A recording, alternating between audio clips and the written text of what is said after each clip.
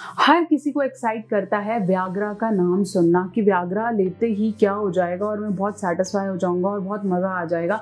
कब लेनी चाहिए, कितनी लेनी चाहिए, बहुत लोगों को इसके साइड इफ़ेक्ट्स नहीं पता होता, कितनी डोज इंपॉर्टेंट है नहीं पता होता। आज सबके बारे में बात करूँगी। नमस्कार, मैं हूँ डॉक्टर नेहा मेहता। मैं सेक्स काउंसलर हूँ पिछले काफ़ी सालों से प्रैक्टिस कर रही हूँ। अपनी हर वीडियो के माध्यम से सेक्स से जुड़ी सही जानकारी आप तक पहुँचाने की कोशिश करती हूँ। आज मैं बात करने वाली हूँ सेक्स पिल्स के बारे में, प्यार की गोली के बारे में कितनी इफ़ेक्टिव कितनी लेनी चाहिए, क्या साइड इफ़ेक्ट है, हुए तो क्या करें, कब लें, किस पार्टनर के साथ लें डिटेल में बताने वाली हूँ सारी सच्चाई और सही डोजेस क्या करना है इस वीडियो को अंत तक देखना है, मुझे पता है आप देखने वाले हैं, अंत तक देखना है, अपने एटलीस्ट मेल फ्रेंड्स में इसको शेयर करें, ताकि अगर वो इस डाउट में है तो उनका ये डाउट क्लियर हो जाए। साथ साथ इस चैनल को सब्सक्राइब करना नहीं भूलें।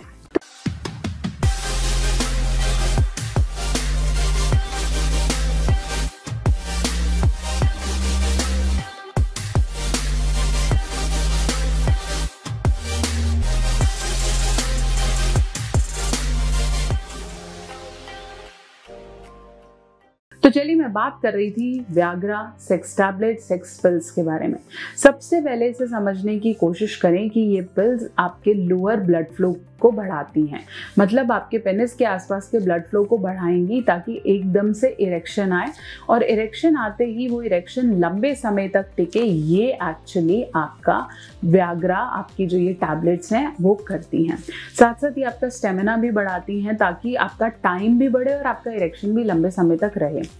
ये टैबलेट्स एक टेम्परेरी मेथड है, जिससे आप अपने टाइम और इरेक्शन को बढ़ा सकते हैं। व्याग्रा बहुत सारे साइड इफेक्ट्स भी लाती है, जैसे सर में दर्द होना, माथा भन्नाना, या फिर आपको ऐसा लग सकता है कि मेरे को बहुत ज़्यादा मेरा बीपी बढ़ता जा रहा है, या शरीर में गर्मी पैदा हो रही है नोजिया वॉमिटिंग आने की फीलिंग हो सकती है, और ये फीलिंग आने वाले दो दिन तक कंटिन्यू रह सकती है पर्सन टू पर्सन ये फ़र्क करती है। कितनी लेनी चाहिए? अगर मैं डोज की बात करूँ तो अट्ठारह से पैंतालीस साल का आदमी मैक्सिमम 100 मिलीग्राम्स की व्याग्रा को ले सकता है। लेकिन अगर आप इससे ज़्यादा बिना डॉक्टर के रिकमेंडेशन के ले रहे हैं तो आई एम सॉरी आपको बहुत ज़्यादा साइड इफ़ेक्ट देखने को मिल सकते हैं। अब मैं बात करूँ कि आप यंग हो और पहली बार ट्राई कर रहे हो तो हमेशा समझो कि मिनिमम से मिनिमम व्याग्रा को लेंगे तो दैट विल बी फाइन क्योंकि आपको उसे एक्सपेरिमेंट करना होगा कि आपकी बॉडी के साथ कैसी जाती है। रिसर्चेस के अनुसार पाँच में से चार पुरुषों को व्याग्रा असर करती है। अगर लेने के बाद भी आपको असर नहीं कर रही है तो आपको समझना है कि आपको शायद एक डॉक्टर से मिलने की ज़रूरत है। कई डॉक्टर्स जब आप आ, अपनी कंसल्टेशन के लिए जाएँगे तो आपको व्याग्रा प्रिस्क्रिप्शन में देते हैं ये sildenafil tadalafil avanafil may be ऐसी टैबलेट्स के सॉल्ट्स को आपको लिख के देंगे। तो आपको डॉक्टर के डोज के हिसाब से ही लेनी है। बहुत से लोग क्या करते हैं कि एक व्याग्रा ने असर नहीं किया तो एक और खा लेते हैं which is a big no no तीसरी चीज़ जो समझने की ज़रूरत है कि व्याग्रा रूटीन में आपने नहीं लेनी है। रूटीन में व्याग्रा लेने से धीरे धीरे आपको साइड इफेक्ट्स बढ़ेंगे और वो असर भी नहीं करेगा। मेरे पास ऐसे कितने लोग हैं जो ये बोलते हैं कि हमने पिछले दो महीने, तीन महीने खाई अच्छा असर रहा, लेकिन ये असर ही नहीं करती। क्यों? क्योंकि आपने इसको रेगुलर अपने डोज में बना लिया। कोशिश करें कि जब आप अपने पार्टनर की बहुत ज़्यादा इंटीमेट हो रहे हैं और आपको आज अच्छा परफॉर्म करना है तो डेफिनेटली आप इससे स्पाइस अप कर सकते हैं। साल छः महीने में एक पिल को इंट्रोड्यूस करने में कोई प्रॉब्लम नहीं है। लेकिन अगर आप इसको रोज रोज रोज हफ़्ते में तीन बार, महीने में तीन बार यूज़ कर रहे हैं it is big no no हाँ अगर आपको कोई प्रॉब्लम है लंबे समय से और आपका रजिस्टर्ड डॉक्टर आपको वो देता है तो उसकी डोज को मॉनिटर करके देगा और उसके साथ ऐसे बहुत सारे सॉल्ट्स देगा कि आपको प्रॉब्लम नहीं आएगी। यूजली ये मेडिकेशन ट्रीटमेंट के कुछ समय तक ही दी जाती है और धीरे धीरे इसकी डोजेस को बहुत लोअर करके टेपर डाउन किया जाता है।